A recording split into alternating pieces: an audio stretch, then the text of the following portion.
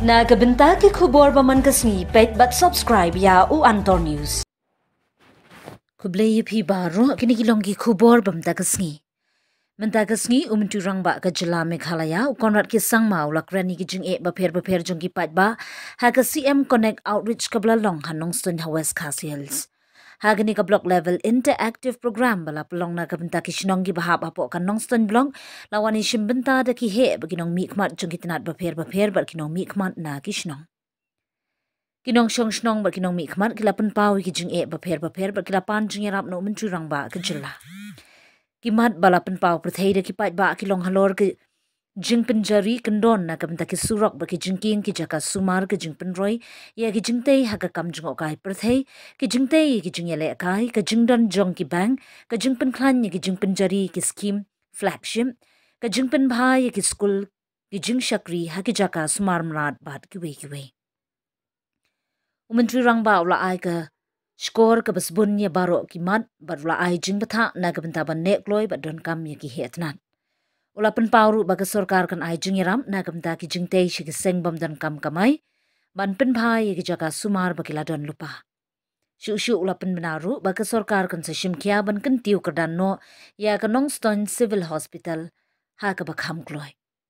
Halur ki jingtei ha ki kamele kai umantri rangba ulapan tip baga sorkar ka baiting ka palat shia jar kror ha ka ba pen bhai ki jing tei le kai hakaleng ke meghalaya bala penti kena ba ka sarkar kene trailang bar ki pai ba ban seng ki jing tei kai hi ki jaka nong kendong.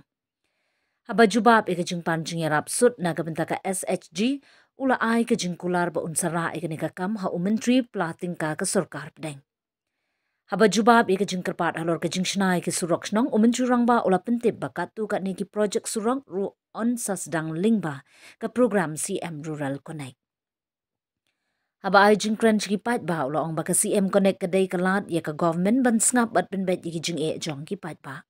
Ula pen ru ya ki MLA ki department head ba kin pen ya sno ba ki pat ba ka kerdan jong ki. Ka CM connect ka bala long menta ka singi hanong stun ka dai ka ba pra kum ka ka program ka bala pelong ha ka jilla bat menjurang ba ulo ong ba undang beteng ya ka jing ki ban wanra ya ka jing senshar kam jan sha ki pat ba. You never get an opportunity to speak in a government program. Hence, the CM Connect is a very special program where the Chief Minister and officials come to you directly. You can ask questions directly. And most importantly, it is a two-way communication and not just one-way communication where I come and I give my speech. The objective of CM Connect is not only to listen to your problems. Yes, it is a very important part, but it is only one part of the objective of CM Connect. You have to understand what happens when CM Connect takes place. When CM Connect program takes place, the entire system gets activated. It's not about this one hour where I will listen to your questions. But it is about the impact it will have on the governance or the government machinery as a whole. Because our health officials will be ready with their replies. Our PWD officials will be ready with their replies.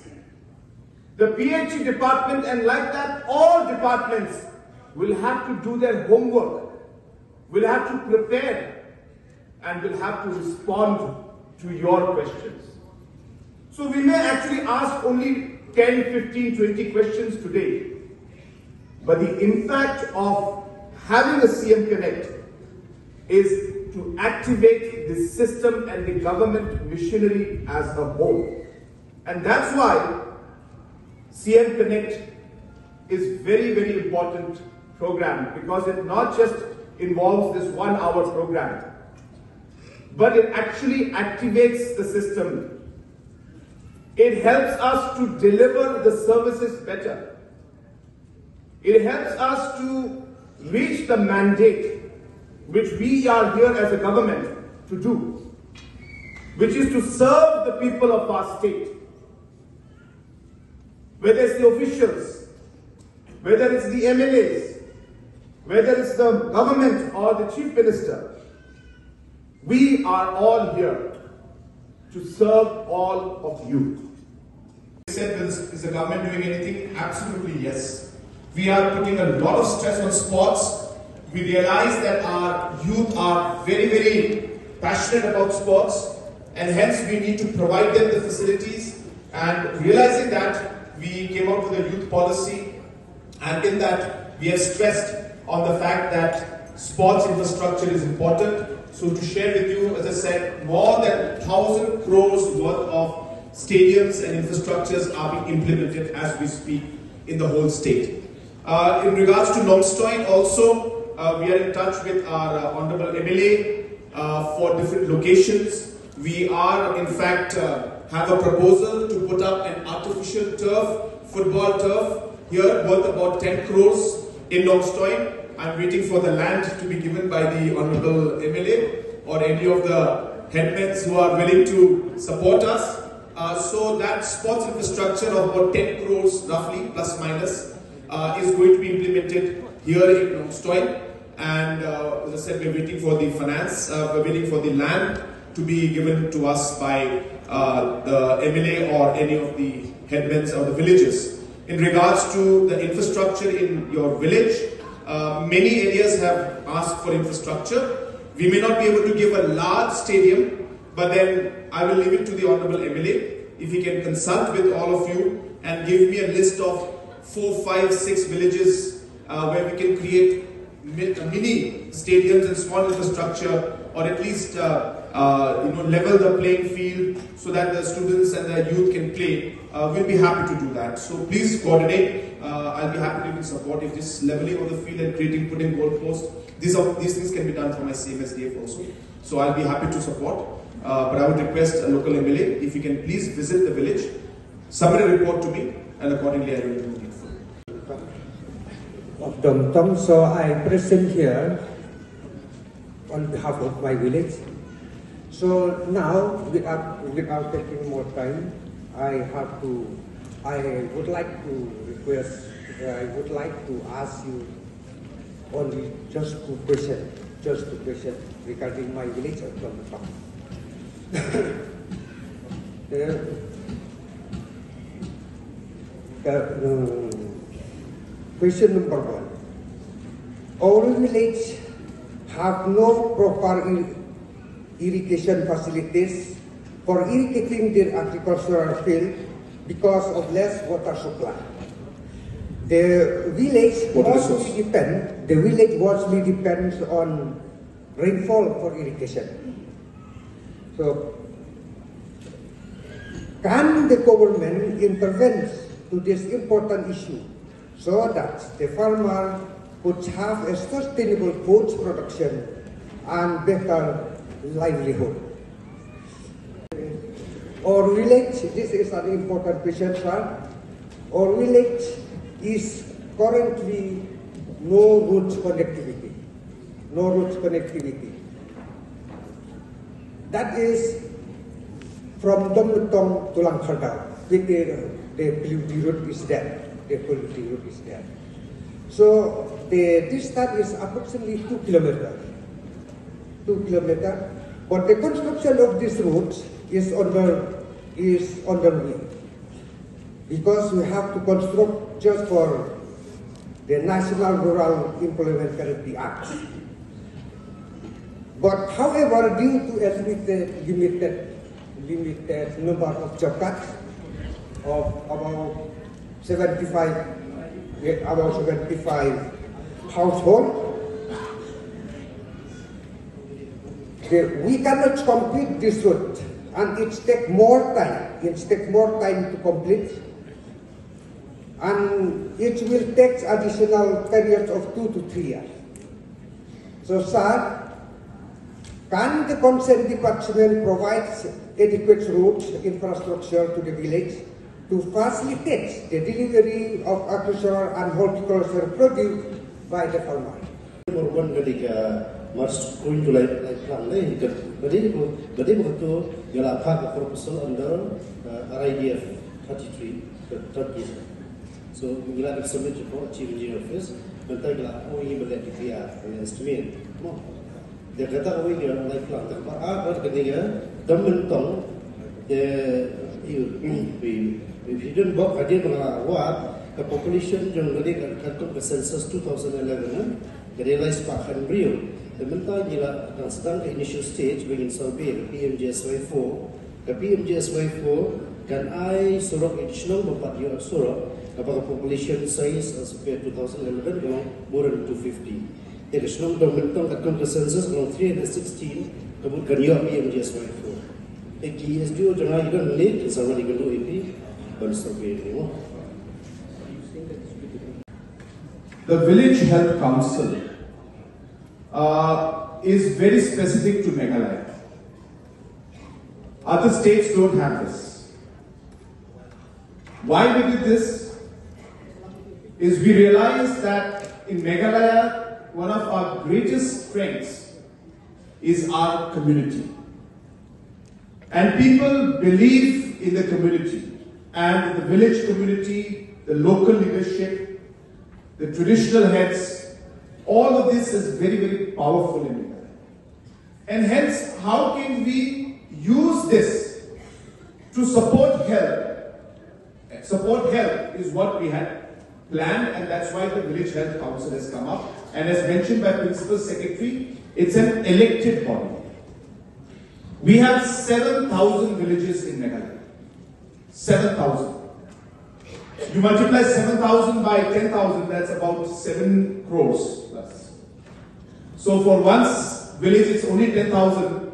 But for a state, for us to fund uh, this program in the whole state costs us about 7 crores. And even if you increase that to double, that's 14 crores. So the amount is quite big. Uh, having said that, it is not that the Village Health Council is the only mechanism through which we are providing health service.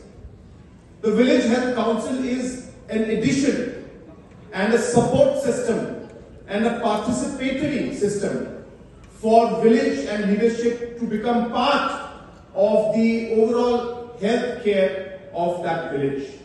So they have a responsibility and therefore uh, we have seen that the Village Health Council has been very effective. When we started this program, we didn't know whether it would work or it would not work, whether the Village Health Councils would be active or not active.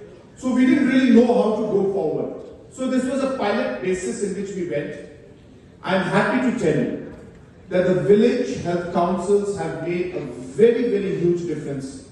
And as we move forward, the village health councils will play even a more bigger role in the overall management and healthcare system in that village. So to answer to the question which our headman has asked, yes, we are examining the possibility of increasing it. We have seen some villages are big, some villages are small, all are getting 10,000. In some villages it is not enough. So we will see how much increase will be there. I cannot promise you something right here on the stage, but uh, already we are examining the possibility of increasing and we will increase, but exact amount I will not be able to share with you. So in short, the reply to your question, yes, we will be increasing. I'd like to inform all of you that uh, from Nongstoin to Mauet, the road is, obviously the work is going on right now. Uh, but we have decided uh, to continue the road and uh, we will be very soon sanctioning the additional connectivity from Mauet to Longjuri. This is part of our plan. This is going to be implemented very, very soon. We will be sanctioning this maybe in about a month or two months' time. Tendering will take place. I hope that by March or April, we will actually see the construction work, or at least by next year, the construction work for Mauet to Longjuri will happen. So I want to give assurance to you and to our honorable MLAs uh, concerned that this is a priority road for us and we know the economic viability and uh, importance of this road. The Shalang to Maheshkula road has been a road which Honorable MLA has been pressing on. uh, we are exploring the uh, possibility of taking up the Shalang uh, to uh, Maheshkola Road under the MITP2, which is a World Bank project, but that list has not been finalized yet. Uh, so I will not go ahead and announce it right now, but we are still working on it. Uh, and I will do my best to ensure that that particular road also is included. But only once we finalize will I announce it. But I can, can very confidently announce the Mawed to Nongjiri road. It is already in our list. And as I said, the sanction will come in about a month or two months' time. Uh, NSAP, which is the pension scheme for uh, old age pension, as well as the MGNREGS, we all call it job card, job card. Uh, these are all national and government of India schemes. The whole country, the same policy is being implemented everywhere. Meghalaya is the only one, or rather we are the ones who could not implement Aadhaar because there was a lot of resistance from the people. I take this opportunity to urge all of you. The entire country has enrolled in Aadhaar. We are one of the few states which is lagging behind because we are getting resistance from the people. The whole country is doing it. There is no problem in it. And today, after many, many years of requesting that we be exempted, Government of India has now come down heavily, saying that MGNREGS salary will not be, wages will not be given, NSAP funds will not be given if Aadhaar is not there. So we have done our best and got maximum relief. But now, as I said, the entire country is 100% Aadhaar. We are the only ones left who have a few states, two, three more are there. We are at about 70%, 75%. So we need the support of the community, people, especially our local headmen. You must motivate the people. You must convince the people. It is mandatory and we cannot move any further beyond this point. Uh, and otherwise the MGNREGS wages as well as the NSAP old pension will be stopped.